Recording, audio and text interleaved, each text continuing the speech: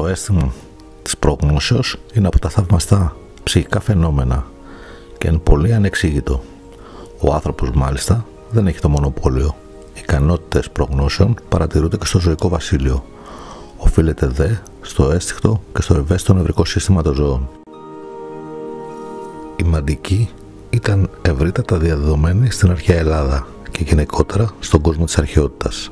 Ο Σοκράτης πίστευε πως η μαντική μπορεί να γίνει κτήμα κάθε ανθρώπου μέσω της αυτογνωσίας. Για τους ταϊκούς, κάθε συμβάν συνδέεται με το σύνολο των γεγονότων, παρελθόντων, παρόντων και μέλλοντος. Κατά το Δημόκριτο, οι ψυχές των προφητών και των τρελών έχουν διαφορετική σύνδεση από τις ψυχές των υπόλοιπων ανθρώπων. Προκειμένου να επιτευχθεί η πρόγνωση, είναι απαραίτητο η ψυχή να ελευθερωθεί από τους περιορισμούς του χρόνου και του χώρου. Γι' αυτό οι μαντικές ικανότητες αυξάνονται κατά το μέγιστο σε κατάσταση ύπνωσης ή έκστασης.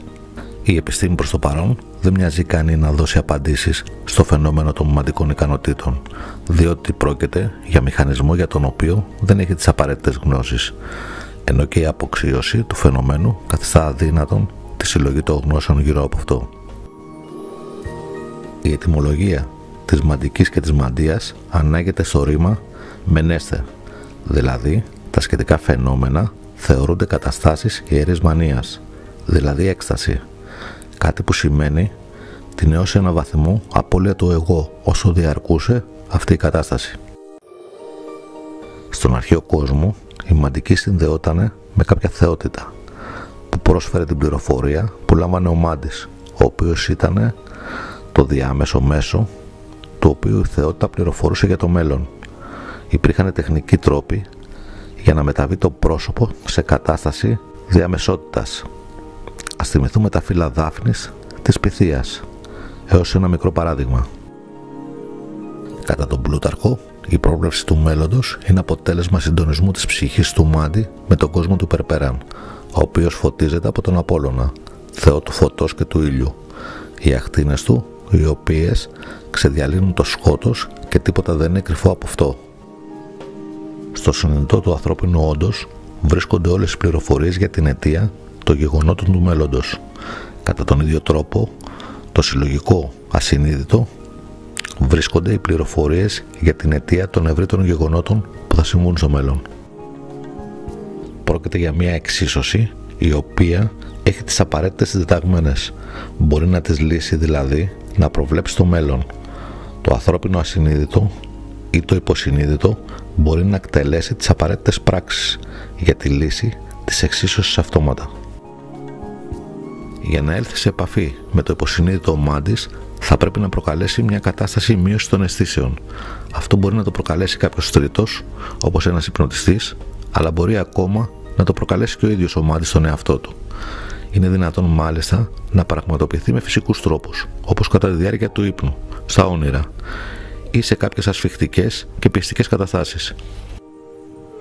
Επίσης υπάρχουν φυτά και βότανα που περιέχουν ουσίες φιλικές προς τη μαντική, αφού προξενούν τη μείωση των αισθήσεων που απαιτείται για την επίτευξη της κατάστασης διαμεσότητας. Η επαφή με τον κόσμο του ασυνείδητου, ατομικού ή συλλογικού, η πυθία χρησιμοποίησε ένα πόσιμο υγρό που ονομάστηκε πίθιο, το οποίο ίσως προερχόταν η ουσία του από τα φύλλα της δάφνης. Το ενεργειακό δυναμικό των γυναικών θεωρείται περισσότερο συμβατό με τις μαντικές ικανότητες. Γι' αυτό το λόγο στην αρχαιότητα υπήρχαν επιθείες, ενώ οι άντρες μάντι ήταν κυρίως με μονομένε περιπτώσεις, αν και υπήρχαν εξαιρέσεις. Σε κάθε περίπτωση, οι μάντι και οι μάντσε έπρεπε να υποστούν ειδική προετοιμασία εξαγνιασμού ώστε να προέλθουν σε κατάσταση κατά την οποία θα μπορούσαν να μεταδώσουν τη θεία θέληση. Η μαντική πιθανότητα είναι ευγενής ικανότητα της ψυχής, κάτι που διαφαίνεται από τις προβλέψεις του κοντινού μέλλοντος, στις οποίες επιδίδεται ο καθένας και οι οποίες έχουν τη μορφή προαισθημάτων για γεγονότα που πρόκειται να συμβούν, όχι απαραίτητα κάποια σημασίας.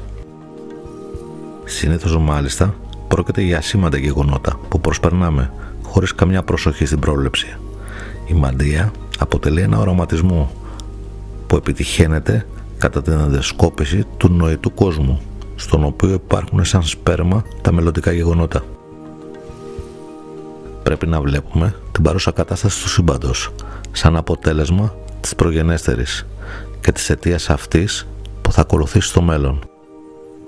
Το ανθρώπινο υποσυνείδητο είναι ένας υπολογιστής στον οποίο θα τοποθετήσουμε τα εν λόγω δεδομένα και το αποτέλεσμα που θα προκύψει θα είναι η πρόρηση των γεγονότων του μέλλοντος. Ο μάντης συνδέεται με την πηγή που περιέχει τις πληροφορίες αυτές που είναι ο ίδιος ο νους του ατόμου για λογαριασμό του οποίου πραγματοποιείται η πρόβλεψη. Οι αρχαίοι Έλληνες είχαν σε υψηλή εκτίμηση την τέχνη επιστήμη της μαντικής, κάτι που φαίνεται και από τη σημασία που έδιναν στους χρησμούς. Με τον ίδιο ακριβώς τρόπο και στη σύγχρονη εποχή, οι μάντις μπορούν μέσω της ραβδοσκοπίας να συνδέσουν το συνειδητό με το μέλλον και να δώσουν τον κατάλληλο χρησμό για την εξέλιξη των γεγονότων. Το ραβδοσκοπικό όργανο είναι το ενδιάμεσο μέσο σύνδεσης του μάντι με την εξέλιξη των γεγονότων. Ένας τρόπος συγκέντρωσης και ψυχικής κατάστασης του μάντι για τη σύνδεση στα ιστορικά δίκτυα των γεγονότων του παρελθόντος, του παρόν και του μέλλοντος. Μια σύνδεση στα ανώτερα επίπεδα υπάρξεων των γεγονότων, όπου εκεί ο μάντης μπορεί να επέμβει και ως ένα βαθμό να αλλάξει την πορεία των εξελίξεων στα γεγονότα που είναι να εξελιχθούν. Η κατάλληλη προετοιμασία του μάτι για τη σύνδεση των μέσων ραδιοσκοπικών οργάνων είναι και σημαντικότερη για να διαχωρίσει την επιθυμία από την πραγματική εξέλιξη των γεγονότων.